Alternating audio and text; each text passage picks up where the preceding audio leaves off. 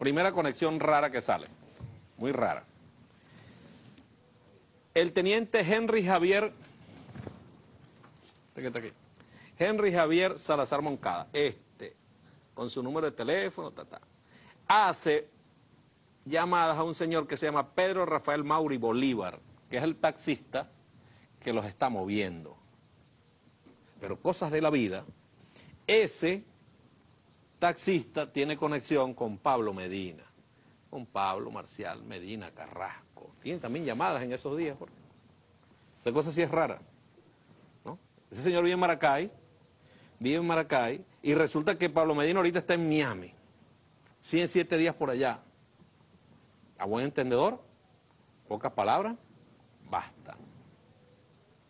Está también el testimonio del taxista. En otro claro, claro, tenemos el testimonio del taxista, de toda una cantidad de cosas. Esto no se termina aquí. Pasa la hoja, porque este es más interesante aún. Pues aquí van entonces a saltar más de uno. Más de uno. El primer teniente Henry Salazar se comunica un número internacional en Estados Unidos. 12, 12 de X, el número. Pero ¿saben quién se comunica con ese número también? El señor Antonio Ledesma, desde su número de celular. Número celular de Ledesma, 414-314-9772. Se comunica con esos señores. ¿Quiénes son esos señores, ese número internacional? Jorge. ¿Quiénes son? Pásamelo aquí, por favor. Gracias, querido compañero.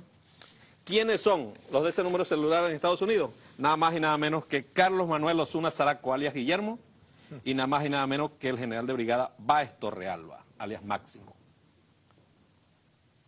Cruza de llamada, eso no se pela.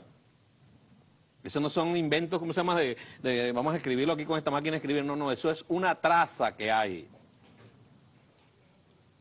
Qué casualidad que Antonio Ledesma tenga contacto con esa gente, ¿vale?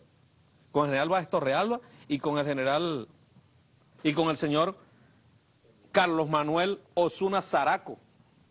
Qué casualidad, ¿vale? Son cosas que, uno no entiende. Ojalá, ojalá. En, los mismos tiempos que En los mismos tiempos, no, no, no, no, Hace 20 años que no, no, no, no, en los mismos tiempos, ¿no? En los mismos tiempos. En los mismos tiempos.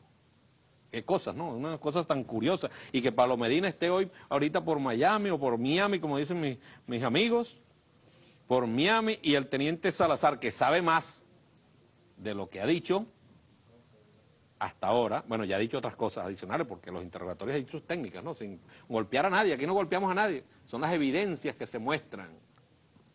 Así como hoy un, oficial asumió su responsabilidad y fue condenado en el día de hoy, ¿cómo se llama? Asumió los cargos, es que es el término adecuado, doctora. Doctora está dormida. Asumió los cargos, ¿ah? Asumió los cargos a los cuales lo están imputando, ¿ah? El juez ya condenó hoy a uno los que no asumieron los cargos, bueno, van a tener que asumir su responsabilidad, porque las evidencias son notorias, las pruebas están extremadamente claras. Entonces resulta que Antonio Ledesma, el santo niño de Atocha, Antonio Ledesma, tiene comunicación con el, señor eh, general Báez Torrealba, alias Máximo, y tiene eh, comunicación con el señor alias Guillermo, que es Carlos Manuel Osuna Zaraco, uno de los financistas del golpe de Estado y qué cosas que se comunican con el teniente Henry Salazar. Y mira las fechas. No, son las mismas fechas. pero las mismas fechas relacionadas. Sí, claro, relacionadas. Son las fechas, ¿cómo se llama? Todas las fechas aquí cercanitas. Eso es la traza, eso no se puede inventar. Es las trazas de las llamadas. Es un golpe de Estado. Y tal cual lo dijo, lo dijo el compañero presidente Nicolás Maduro. Muy pocos dirigentes de la oposición no sabían nada, que se hagan los pendejos otra cosa porque no tienen el coraje para enfrentarlo. El comandante Chávez, hermano, ¿qué edad tenías tú, Jorge? ¿Cuándo eso? En el 92. 92. Yo, era médico, tenía 24 años. 24 años, con 24 años, hermano, que un tipo se parara ante el país a reconocer su responsabilidad en un país que nadie reconocía responsabilidades, ¿vale? ¿Cómo no se le va a fijar Chávez en la mente a uno, ¿vale? ¿Cómo no le va a quedar Chávez en el alma, en el corazón a uno, a un muchacho, a un joven? Que asuma su responsabilidad. Estos irresponsables que no tienen el coraje, ni mujeres ni hombres, ni mujeres ni hombres, ni hombres ni mujeres, para asumir la responsabilidad.